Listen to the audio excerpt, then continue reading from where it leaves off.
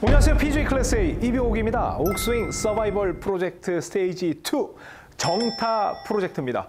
우리 정타 프로젝트의 핵심 키워드 접어 펴였습니다. 제가 스테이지 2-1에서는 여러분께 뒤접어를 알려드렸고 이번 시리즈에서는 위접어를 알려드릴 텐데 2-1, 2-2 하면 복잡하잖아요. 그래서 앞으로는 여러분께 그냥 뒤접어 그리고 위접어 이렇게 설명을 드릴 테니까 여러분이 뒤접어를 들으시면 아 이거는 첫 번째 시리즈 그리고 위접어 하면 두 번째 시리즈구나 라고 생각하시면 이해가 쉬울 겁니다. 자 오늘은 오리엔테이션 시간입니다. 우리가 뒤접어를 통해서 왼발 뒤꿈치에 공 놓고 클럽 페이스 square 맞힌 다음 타겟 계속 바라보고 뒤로 빼서 쿵 했더니 쫙쫙 붙는 이러한 스윙이 만들어졌죠. 그래서 일명 제가 쫙 스윙이라고 해서도 들고 쫙 해서 오 이거는 뭐 순간 이렇게 힘을 줄 수 있다라고 해서 설명을 드린 적도 있고 여러분이 현장에서 아마 연습을 통해서 그걸 체득하고 계실 거라 생각합니다. 자 그러면 이제는 클럽 페이스하고 엄청 친해졌어요. 뒤접어 하면서 우측으로도 쳐보고 가운데도 쳐보고 좌측으로도 쳐보고 이렇게 유지를 했더니 이제 클럽 페이스를 어떻게 해야 어떤 방향으로 날아가는지 이제 여러분이 인지를 할 수 있고 그 연습을 바탕으로 해서 여러분이 좋은 스코어도 내고 계실 거라고 생각을 합니다. 그랬더니 뭔가 부족해. 그리고 스윙을 여기에서 이렇게 하는 게 조금 그렇단 말이에요. 그럼 제가 가만히 둘 사람입니까? 옥 선생은 절대 그렇지 않죠.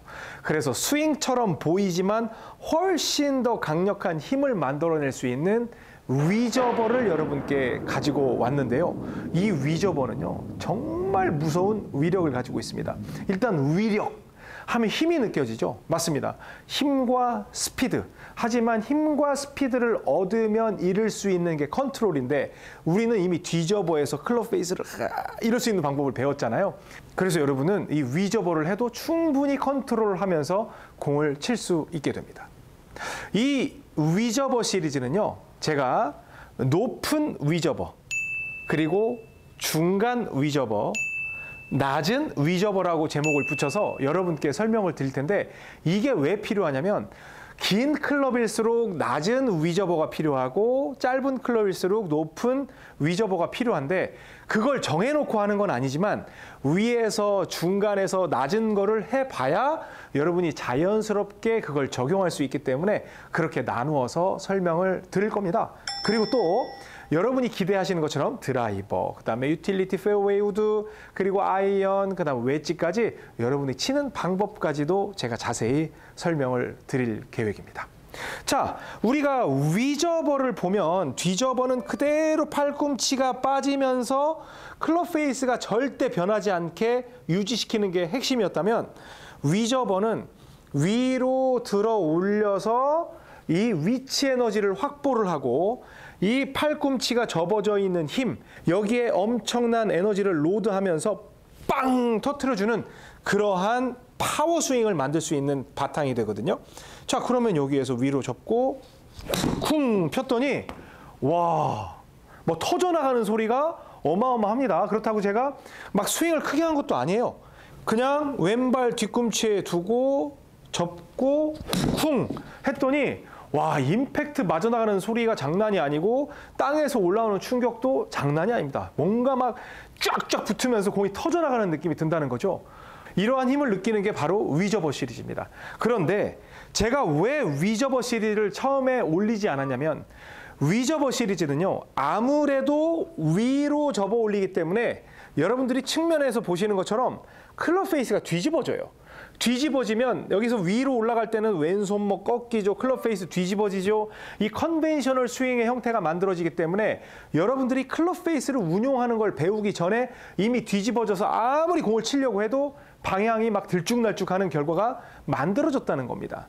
그래서 여러분께 조금 고생스럽지만 뒤로 빼는 이 클럽 페이스를 그대로 운용할 수 있는 어떻게 하면 공이 가운데로 날아갈 수 있는 그런 능력을 배양시키기 위해서 먼저 뒤접어를 드렸던 거예요. 그래서 여러분이 지금 뒤접어가 충분히 돼 있으실 거라는 믿음 하에 이 위저버를 드리는 거니까 뒤접어의 컨트롤에 위접어의 파워를 더해 보시는 겁니다. 자, 그래서 그냥 팔꿈치를 접고 여기에서 내렸어요. 그랬더니 앞으로 만들어진단 말이에요. 그런데 옥 선생은 클럽 페이스를 운용하는 걸 안단 말이에요. 근데 이 감각이 없는 분들은 그냥 위로 접어서 치면 백발백중 우측으로 이렇게 깎여서 슬라이스가 납니다. 그게 일반적인 골퍼들의 형태죠. 그런데 이렇게 슬라이스가 나면 느낌이 굉장히 불편해질 거예요. 뒤접어 할때 느낌하고 완전 달라요. 그러면 아 페이스가 열려? 그러면 어떻게든 페이스를 지키려고 노력을 해봐야지. 그래서 클럽 페이스가 공을 바라보게 하면서 접고 쿵 받게 되면 이렇게 앞으로 똑바로 칠 수 있는 그런 능력이 생긴다는 겁니다. 아시겠죠? 그래서 여러분들이 미리 학습한 이 뒤접어는 엄청나게 중요한 자산이 될 수가 있고 그 자산을 운용을 하면서 이 위접어를 넣었을 때 확 자산이 불어나는 그런 효과를 보실 수가 있게 됩니다. 다음 시간부터 본격적으로 제가 레슨을 해 드리는데요. 그때는 제가 말씀드린 것처럼 높은 위접어, 중간 위접어, 낮은 위접어를 통해서 이 타격하는 방법을 알려드리고 그리고 각각의 클럽에 이 위접어를 적용을 하면서 여러분이 정말 스윙 다운 스윙, 아름답게 보이는 스윙, 남들이 봐도 아, 이거 아니고 정상적으로 드는 것처럼 보이는 그러한 스윙을 할 수 있게 만들어 드릴 테니까 저와 끝까지 함께 하시기 바랍니다. 저희 시리즈에 대한 믿음 있으시잖아요. 그렇죠? 제가 끝까지 책임지도록 하겠습니다. 저는 다음 시간 본격적인 레슨으로 찾아뵙도록 하겠습니다. 지금까지 PG 클래스의 이병욱이었습니다. 고맙습니다. 골프용품은 옥스윙몰에서 좋아요, 구독은 덤.